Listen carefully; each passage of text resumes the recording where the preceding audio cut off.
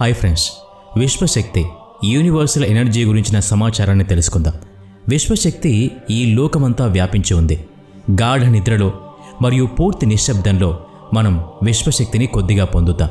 ఈ శక్తిని చూడటం మాట్లాడటం వినటం మరియు ఆలోచించడం వంటి రోజువారీ పనులకు ఉపయోగిస్తాం. సంపూర్ణమైన విశ్వశక్తి మనకి కేవలం ధ్యానం చేయటం వల్లే లభిస్తుంది. మనం అచేతనంగా చేసే ధ్యానమే నిద్ర. ధ్యానం అనేది ఒక ఆకస్మిక నిద్ర. నిద్రలో మనకి కొద్దిపాటి శక్తి మాత్రమే లభిస్తుంది. పరిపూర్ణ శక్తి ధ్యానం వల్ల లభిస్తుంది.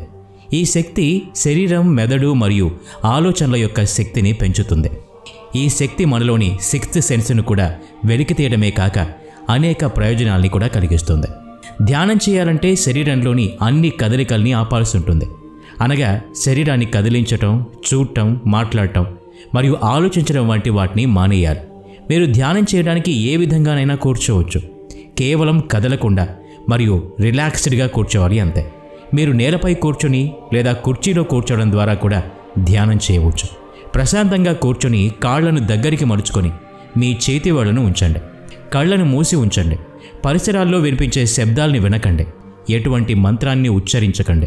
శరీరాన్ని పూర్తిగా వదులుగా తేలిగ్గా ఉంచండి. ఎప్పుడైతే మనం కాళ్ళను మలుచుకొని చేతివేళ్ళను స్థిరపరిచామో. అప్పుడే శక్తి యొక్క పరిధి మరియు స్థిరత్వం కూడా పెరిగింది. శక్తి సంచరిస్తూనే ఉంటుంది. కళ్ళు మనస్సు యొక్క తలుపులు. అందుకని కళ్ళు మూసుకోవాలి. మనస్సు ఆలోచనల సమాహారం. మన మనస్సులో అనేక ఆలోచనలు ఉద్భవిస్తూనే ఉంటాయి. ఆలోచనలు వచ్చినప్పుడు తెలిసి తెలియని ప్రశ్నలు మన మనస్సులో తలెత్తుతాయి. మనస్సు మరియు ఆలోచనని అధిగమించడానికి మనం మన శ్వాసపై దృష్టిని కేంద్రీకరించాలి. మనసులో తలెత్తే ఆలోచనలను మరియు ప్రశ్నల్ని పట్టించుకోవద్దు. ఆలోచనని వదిలేసి మీరు కేవలం శ్వాసపైనే మీ దృష్టిని నిలపండి. మొదట్లో మీరు దీర్ఘంగా శ్వాస తీసుకుంటూ ఉంటారు. కొద్దిసేపటి తర్వాత శ్వాస యొక్క పరిధి తగ్గుతుంది. శ్వాస తేలిగ్గా మరియు చిన్నగా మారుతుంది. చివరికి శ్వాస చాలా చిన్నగా మారిపోయి ఒక చిన్న మెరుపు రూపంలోకి మారుతుంది. ఈ స్థితిలో విశ్వశక్తి మనకి లభిస్తుంది. మనం ఎంత ధ్యానం చేస్తామో అంత విశ్వశక్తి మనకి లభిస్తుంది. ఈ విశ్వశక్తి ప్రాణమయ శరీరంలోని శక్తితో ప్రయాణిస్తుంది. ఈ శక్తితో నిండిన శరీరాన్ని పరిపూర్ణ శరీరం అంటారు. శరీరంలో డెబ్బై రెండు వేలకు పైగా రంగులేని నాడులు లేదా శక్తి యొక్క వాహకాలు ఉంటాయి. ఇవి శరీరమంతా వ్యాపించి ఉంటాయి. శక్తి నాడులు తలభాగం నుంచి మొదలవుతాయి. ఈ భాగమే బ్రహ్మరంధ్రం అని పిలువబడుతుంది. వృక్షం యొక్క కొమ్మలు మరియు వేర్లు ఏ విధంగా భూమిలో వ్యాపిస్తాయో అదేవిధంగా ఈ నాడులు కూడా శరీరంలో వ్యాపించి ఉంటాయి. వీటి ద్వారానే విశ్వశక్తి లభిస్తుంది. మనం ఈ శక్తిని చూడటం మాట్లాడటం మరియు ఆలోచించడం వంటి శారీరక కార్యక్రమాల్ని చేయటానికి మరియు మానసిక కార్యక్రమాల్ని చేయటానికి ఉపయోగించుకుంటాం. ఇవన్నీ పనులను చేయడానికి ఉపయోగపడేది విశ్వశక్తి. విశ్వశక్తి యొక్క ప్రవాహం మన ఆలోచనలపై మాత్రమే ఆధారపడి ఉంటుంది. మనం ఆలోచించడం ప్రారంభించినప్పుడు విశ్వశక్తి యొక్క ప్రవాహం ఆగిపోతుంది.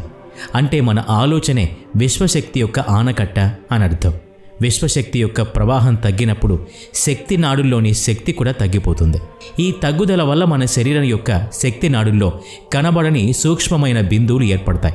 ఇవి క్రమక్రమంగా మన శరీరాన్ని వ్యాధి బారిన పడేలా చేస్తాయి. మన శరీరంలోని శక్తి యొక్క తగ్గుదలే అన్ని వ్యాధులకు మూల కారణం. అధికంగా విశ్వశక్తి ధ్యానం చేయటం వల్లే మనకి లభిస్తుంది. ఈ శక్తి మన శరీరంలోని నాడుల ద్వారా శరీరమంతటా వ్యాపిస్తుంది.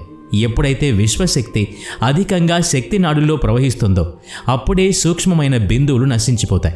అప్పుడు మన శరీరం సంపూర్ణ ఆరోగ్యంగా తయారవుతుంది. బ్రహ్మరంధ్రం గుండా శక్తి ప్రవహించడం మొదలవుతుందో అప్పుడు తల మరియు శరీరం అంతా బరువెక్కుతుంది. శరీరంలోని అన్ని వ్యాధులు విశ్వశక్తి యొక్క సహాయంతో తొలగిపోతాయి. అంటే మందుల అవసరం లేకుండానే మన శరీరంలోని వ్యాధులు నయమవుతాయి. ఎక్కువ ధ్యానం చేయటం వల్ల మనకు విశ్వశక్తి లభిస్తుంది. ఇది మన ఒత్తిడిని తొలగించి వేస్తుంది.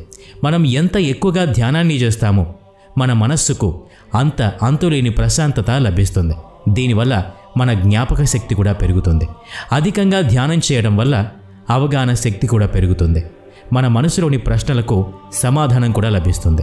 దైవికమైన కన్ను అంటే మూడో కన్ను కదలటం ప్రారంభించినప్పుడు మన మెదడు లేదా నుదురు భాగం సాగటం మరియు దురద రావడం ప్రారంభమవుతుంది.